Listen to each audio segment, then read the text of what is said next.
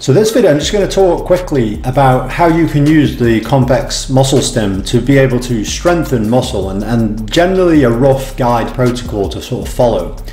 So effectively, you want to be training for strength, so you can pick the strength uh, setting on there. You can even use hypertrophy, which also does target the fast twitch and the slow twitch fibers. So that's the thing, it will target all muscle fiber types. Now the key here is, is that you want to get it, get it running and get the contractions as high as you can get them. Um, obviously, you, you'll get used to it, and often you'll find that when you first run the first few contraction cycles, if you like, you'll you'll find that the electrical sensation that you're feeling, which is usually the limiting factor at the beginning, should diminish. Which means that every three, four, five cycles, you want to try and increase it, basically.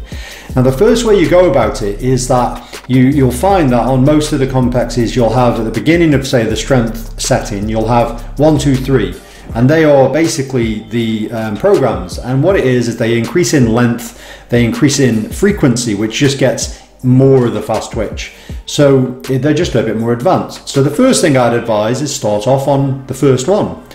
Now, depending on how deconditioned you are, is governed by what you do next. If you're really, really deconditioned in the muscle, then it might be that you don't even run the full program length on the first one. You might only do it for quarter or half of the program length. Um, but what you want to do is to try and get it up as high as you can get it and get as good a contraction as you can. But the first thing you do is you do static contraction. And what this means is, say you've got it on your quads, on your thigh muscle. You turn it up, turn it up, turn it up. You'll be sitting on the edge of the bed with your leg dangling down and you'll turn it up until you're literally only just able to stop it from moving. So you're you're able to maintain 90 degrees at the knee. And once you hit that point, then don't go any higher than that. That'll be where you stick.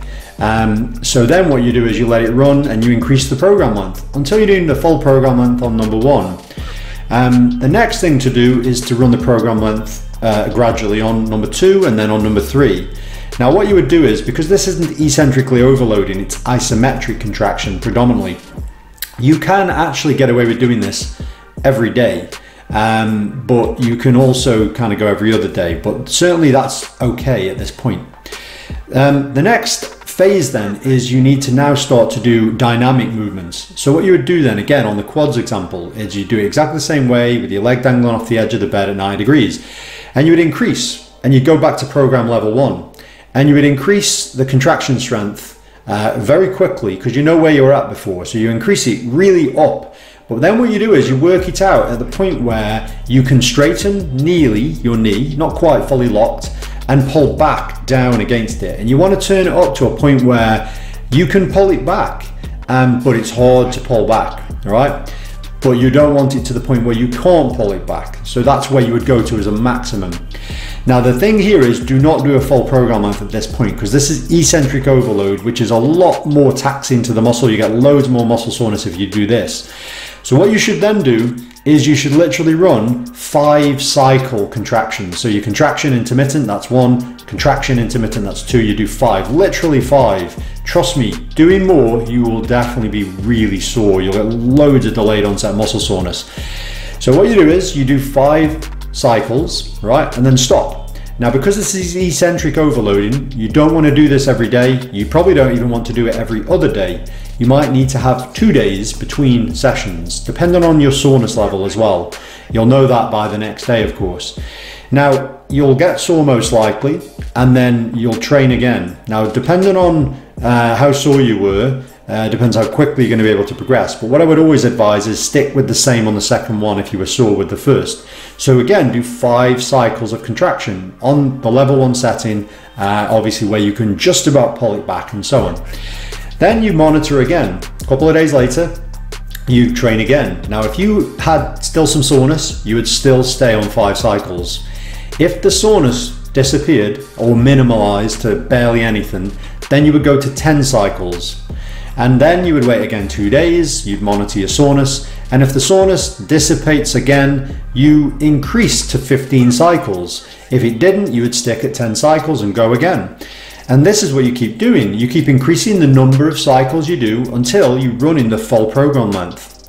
Then what you can do is you don't have to drop back down again, knock it up to level two, run the full program length, knock it up to level three, run the full program length. Obviously at this point, uh, you could then, beyond this, although this is very high level, is you could even start to do more loaded work. So rather than on the edge of the bed where you're just straightening and thing in the leg, you can start to do it with squats. Now, this is where there's no direct exacting way to do it. You could play it safe and drop back to five cycles of contraction, monitor the soreness, and then 10 and monitor the soreness and so on. But it might be that that underplays it slightly. So you have to sort of have a little bit of poetic license with that as to how you go about that.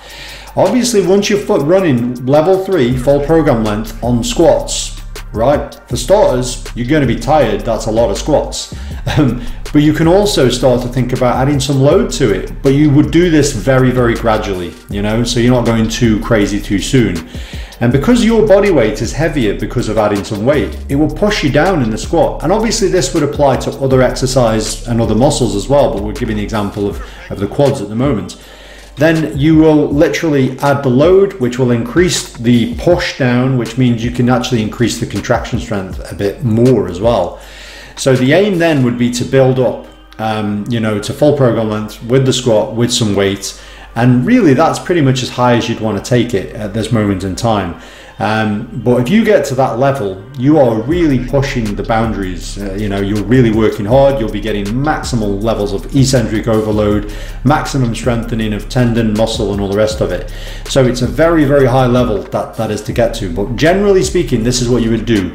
And like I said, you can do this on any muscle. So if it's on the biceps, then you would literally think, well, the biceps long head, for example, goes a full range of movements is into full elbow extension and uh, shoulder extension.